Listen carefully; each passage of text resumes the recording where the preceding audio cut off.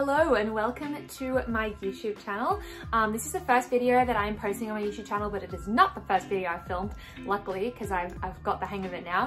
Um, so this is gonna be my January wrap up. So I read 10 books in January. Uh, it was a, a little bit of a slow reading month for me because I had heaps and heaps and heaps of stuff on. January is always a super busy month for me. I've got birthdays and whatever. Um, so yeah, um, 10 is still a really good amount. I just felt like I could read heaps more this month, um, but I just didn't have the time to, which is okay. Sometimes that happens. So I've already done a quick version of this wrap up on my TikTok. If you don't want to watch the whole video, there's a 60 second version on my TikTok. So yeah, this is going to be a bit more of in-depth reviews of the 10 books that I read in January. So I had a really good reading month in January um, in terms of the books that I read. I didn't have very many disappointing books. I had one, which I'll talk about later. Um, but all of the books I read, I really enjoyed. And every book got a rating of over four stars, except the one, which is the disappointing one. But even that got 3.75. So I'm just gonna jump right in. The first book that I read this year and this month was Beach Read by Emily Henry, as we know, my favorite book ever. I was lending this to a friend, but she ended up giving it back to me like three days later. So that was lucky, but I wanted to read it in case she had it for a while. Um, and she didn't, so it was fine. So because it was a reread, I feel like I don't really have to do a review. If you've never read Read before, it's definitely, I mean, I talk about it all the time on my TikTok. Maybe I'll do a longer review video about Read because it is my favorite book and I talk about it all the time. So, so now going from there, there's no order to the rest of these. It's just whatever I pick up. Neon Gods. I rated Neon Gods a four. Um, I didn't love it, if I'm being honest. I found the storyline to just be nothing. Um, I enjoyed the spice and I thought that the spice was very well executed. Um, I did find it a little bit like overwhelming.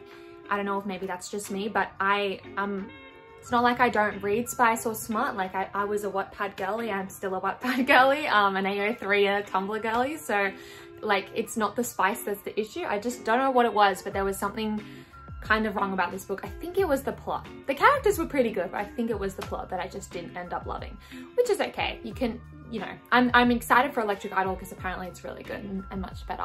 I don't feel like I had really high hopes for it because I had heard some mixed reviews anyway, so I wasn't necessarily disappointed by what I read, but um, I also wasn't in love. So yeah. Writers and Lovers by Lily King. Writers and Lovers I really enjoyed. Um, I ended up rating it a 4.25. Uh, there were a couple of things obviously again that it wasn't a perfect book but honestly those things didn't really matter to me. This is a great introduction to contemporary fiction if you don't really read much contemporary fiction. It's a perfect mix of the genre without being too overwhelming. Casey was such an excellent main character and I feel like this was kind of like the original Normal People. If you've read Normal People by Sally Rooney and you love it and you're always looking for something that's similar, definitely read this. Um, I loved the way all of the characters were characterized. I loved them. I thought they were such believable humans in this little world that Casey was living in. I loved Silas. I loved Oscar as a character. I don't know if anyone else was picturing Oscar Isaac. I don't know what it was, but I was kind of picturing Oscar Isaac anyway. And yeah, I definitely would recommend it. I'm definitely gonna read it again, so I'm gonna hang on to it. It's not gonna be unhauled. Burnt Out by Victoria Brookman. Thank you so much HarperCollins for sending this to me. I really enjoyed this book. It's an Australian fiction that follows the life of Callie after her house in the Blue Mountains burns down in a bushfire um, and her life kind of crumbles around her from there. It's a really, really well done um, exploration of the grief after bushfires, especially if you're Australian. You don't really see it much in um, fiction. And I think this was a very beautiful and a very honorable way of kind of showing that and explaining that story. Again, all the characters in this book was just so fun. I really enjoyed it. Um, Lady G especially, she's such a great character. And yeah, I'm really glad I read it. I rated it a 4.75. Midnight Sun by Stephenie Meyer. Midnight Sun I didn't rate and that is because I am the biggest Twilight fan on earth. I love Twilight. Um, well, I couldn't be the biggest fan on earth because I hadn't read this until now and there was a couple reasons I didn't read it when it came out. First of all, I followed this woman on TikTok, Twilight Talk, and she was like, Midnight Sun ruins your perception of Edward and it makes you feel like he's a creep. And it's true, he does. It's the longest book in the Twilight series and honestly, half of it is just like fucking drabble. I really enjoyed reading it because I was like Twilight, Edward, Bella, like I loved it, but as well. I was just like, when is this book gonna end? I personally do think that it didn't make me love Edward as much as I did before. So if you're haven't if you haven't read it for the same reason I have hadn't read it, then I would maybe suggest avoiding it. Um, but yeah, I'm a big, big Twilight fan, so I'm glad I read it ultimately. I wish there was more. I really wish we had um, Eclipse from Edward's point of view. I don't want New Moon, obviously, because he wasn't with Bella, but um, I wish we had Eclipse from Edward's point of view. That would be a nice little bonus. Love and Other Puzzles by Kimberley Allsopp. Thank you very much HarperCollins for sending this to me. Um, I rated Love and Other Puzzles a 4.75. It was again a really beautiful contemporary fiction, um, Australian fiction, just kind of like about a 20 something who is like discovers that everything she's done in life she hates I feel like Rory is such a relatable main character, but not in like a cringy relatable way, in a way that's like you're reading it and you're like, oh my God, I felt like I felt like that before in my life. And I really enjoyed all the side characters in this. The author does a really good job of setting up each of those side characters' roles in Rory's life. Um, the mum character, oh my god, the mum and the grandma, the dynamic there was amazing. I really recommend you read this. Um, if you're already into contemporary fiction, it's not really a starter contemporary fiction um, book, but it was so good. I'm doing a video on it on my TikTok in a couple days. The Roommate by Rosie Danan. The Roommate was so good. I ended up rating it a 4.5. Uh, it was a later in the month read for me. I really enjoyed the discussion about sex work and how the sex workers were humanized and not demonized, which is something you don't really see much in contemporary romance. Um, if the sex work industry is mentioned, it's usually in kind of a more offhand or a cheap way. And in my opinion, this was explored really, really well, especially with the dynamic of the roommates and the tension between Clara and Josh. Clara and Josh were really cute um, when they eventually got together. Um, so yeah, I really enjoyed it and I would recommend it if you are over 18. It's definitely an 18 plus book. And I know when you're 14, you're like, I can read an over 18 book. Don't, okay? This is me telling you not to read this unless you're 18, even 19, even 20. The Heart Principle by Helen Hoang. The Heart Principle is the third book in the Kiss Quotient series. Oh my god, it was so good. I rated this one a 4.75. Lots of high ratings this month. I really enjoyed it as per usual, as with most of Helen's work that I've read. I've loved it. I've loved all the characters. The characterization of Quan, especially in this book, was just, oh, spot on. I loved him. Anna's story, her grief, the exploration of her therapy, this whole book, I just enjoyed every second of it. I blasted through it. I read it in like three hours. Um, yeah, I would definitely recommend it. I borrowed it from the library, but I want to buy it now because it was so good.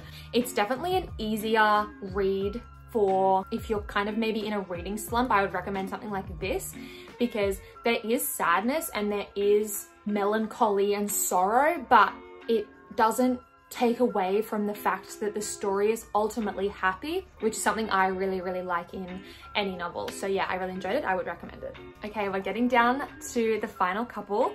I'm going to talk about the book that I was a little bit disappointed with this month, and that was While We Were Dating by Jasmine Guillory. This book was set up to me and like by the back of the book as a fake dating celebrity romance, and I was so, so, so excited, and I was really disappointed, unfortunately. Um, there were a couple things that I just didn't love about it, but there were a couple things that I did love.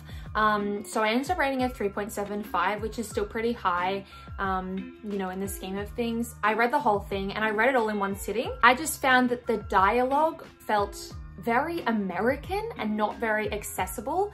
And the way that I mean that is like, it was kind of cringy, not that Americans are cringe, but it was kind of cringy in the way that they spoke to each other, didn't feel like real people speaking to each other. I don't know if maybe that was just because it was a different experience than I could ever know. That being said, the rep in this book is perfect.